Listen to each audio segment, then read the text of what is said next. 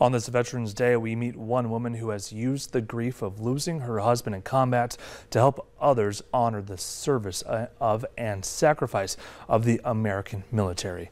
Danya Bacchus has her story he was the person who saw me in ways nobody else did and i think that's that's the power of love. When lisa hallett's husband captain john hallett was killed by an ied in afghanistan in 2009 she leaned on the thing that kept her going during her years as a military spouse. Running was always a way for me to parallel the challenges john's faced in military service with a challenge of my own. At the time of his death lisa and john had three children under the age of three.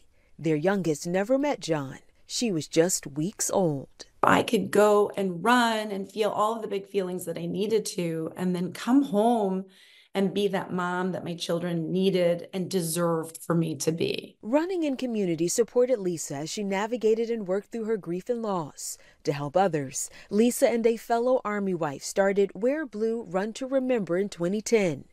Nearly 15 years later, through community runs and mentorship, the organization has helped thousands across the country heal from the devastating loss of a military loved one.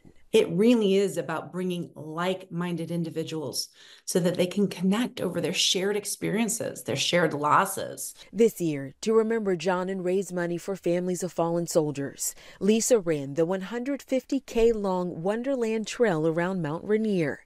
Hallett, who lives in Washington state, says it was a natural choice to honor John. Here's this beautiful precipice in our backyard um, that really encompasses all the things I wanted John to know beauty, hard work, achievement. She says doing hard things has allowed her to confront her grief and take the steps to move forward.